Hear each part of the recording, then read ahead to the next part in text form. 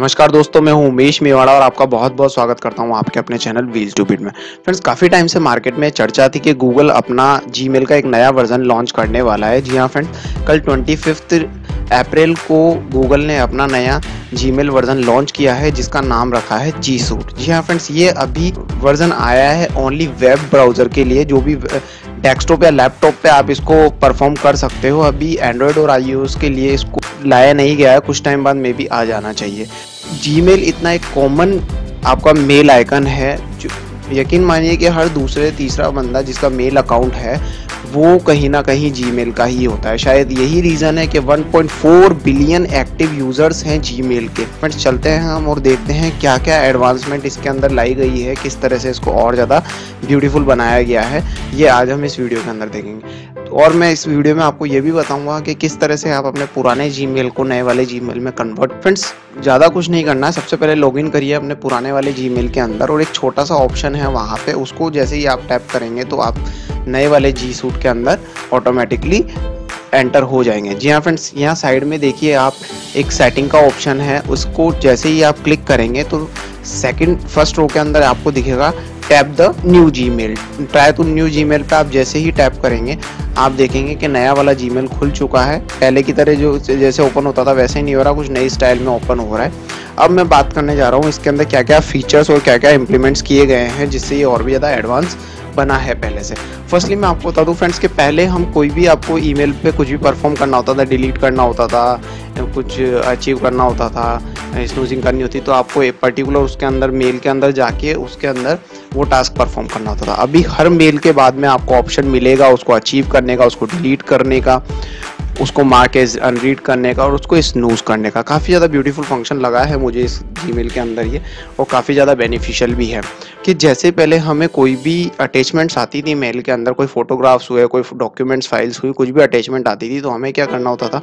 Mail को खोल के उसके अंदर ओपन करना होता था। लेकिन इस वाले जी फ़ंक्शन के अंदर आपको कोई भी अटैचमेंट आएँगी तो आपको मेल खोलने की ज़रूरत नहीं है। बाहर से ही आप अटैचमेंट को ओपन करके देख सकते हैं। ये बहुत अच्छा फीचर है वैसे टाइम कंज्यूमिंग है। अच्छा वैसे आप इसको एक्टिवेट कैसे करेंगे, मैं आपको बता दूँ। वहीं पे सेटिंग में जाना है आपको, और डिस्प्ले डेंसिटी के अंदर जाना है। डिस्प्ले डेंसिटी के अंदर तीन तरह के आपको फ़ंक्शन मिलेंगे डिफ़ॉल्ट कंफर्टेबल और कॉम्पैक्ट का। तो आपको डिफ़ॉल्ट पे रहना है।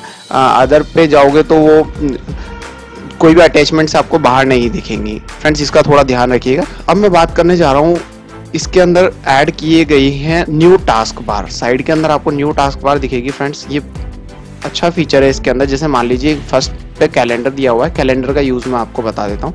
वैसे तो बहुत सारे यूज़ हैं, लेकिन फिर भी एक छोटा सा यूज़ मैं बता देता हूँ। जैसे मान लीजिए, आपको 28 को एक मीटिंग रखनी है आपके कॉन्फ्रेंस हॉल के अंदर। और आपको उसके अंदर 50 मेंबर्स को इनवाइट करना है। तो फ्रेंड्स मैंने यहाँ पे कैलेंडर के अंदर गया और 28 को मैंने एक मीटिंग असाइन करी। ठीक है 12 बजे मैं एक मीटिंग असाइन करता हूँ और टाइटल में यहाँ पे मीटिंग दे देता हूँ।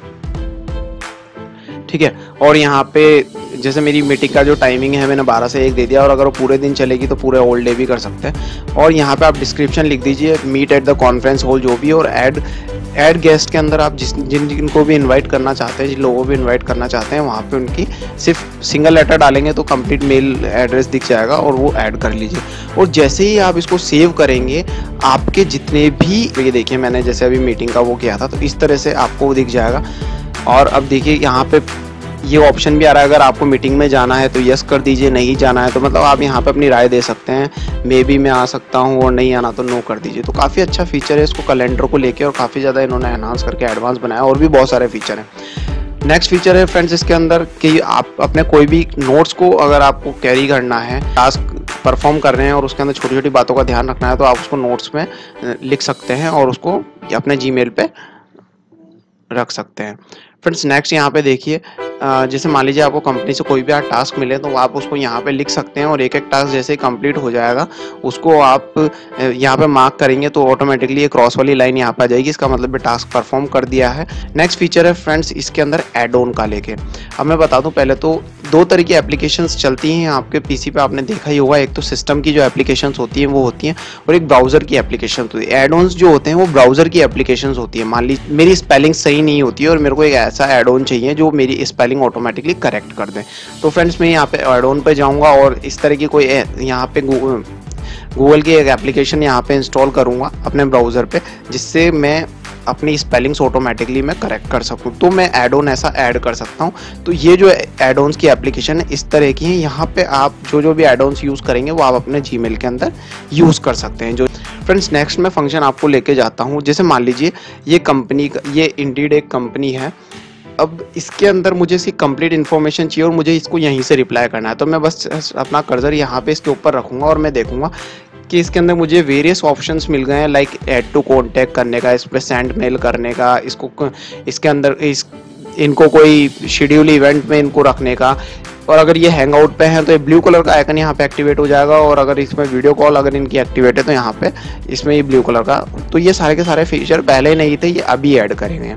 फ्रेंड्स मान लीजिए आप किसी मेल पे रिप्लाई कर रहे हैं और अगर आपको उस मेल के अंदर कोई ईमेल आईडी ऐड करनी है जो आपके कॉन्टेक्ट्स के अंदर है। तो फ्रेंड्स इसमें ये नए जीमेल के अंदर आपको फ़ंक्शन दिया गया है प्लस साइन यूज़ करिए और आप उस जीमेल आईडी का पहला वर्ड जैसे ही दबाएँगे।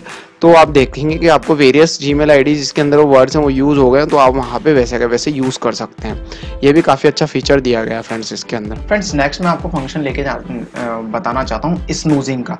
स्नूजिंग एक फ़ंक्शन होता है फ्रेंड्स जिसके थ्रू मान लीजिए ये जो मेल है, मुझे इस मेल का दो दिन बाद, दो से ढाई बजे बहुत इंपॉर्टेंट काम है, और मैं चाहता हूँ कि दो से ढाई बजे मेरे सामने मेल पॉपअप हो जाए, ताकि मुझे याद रहे कि हाँ इस मेल का पे मुझे ये वर्क करना था आज से दो दिन बाद। तो मैं स्नूजिंग के अंदर यहाँ पे टाइम सेट कर दूँगा फ्रेंड्स टाइम पिक कर दूँगा कि हाँ मुझे 28 तारीख को 8 बजे ये मेल पॉपअप हो जाना चाहिए तो ये स्नूजिंग के अंदर यहाँ मुझे शो होएगा।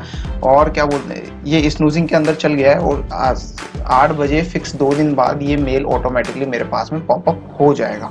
अगर आपको पसंद नहीं आता तो नॉर्मली आप वहाँ पे सेटिंग्स पे जाके वापस से गो टू क्लासिक जी पे जाके वापस से आपका पुराना वाला जो जी है उसके अंदर जा सकते हैं। कोई प्रॉब्लम नहीं है, जिसको पसंद आया सकता है, जिसको पुराना वाला पसंद आया, वो उसको ऊपर टास्क परफॉर्म कर सकता है। फ्रेंड्स इस चैनल की अपडेट्स लेने के लिए और अगर आप चाहते हैं कि आपके पास में नोटिफिकेशन सबसे पहले पहुँचे तो प्लीज़ इस चैनल को सब्सक्राइब कीजिए और पास में जो बेल आइकन है, उसको क्लिक कीजिए ताकि सबसे पहले नोटिफिकेशन आपको मिले और आप वो वीडियो देख सकें। जय हिंद, वंदे मातरम।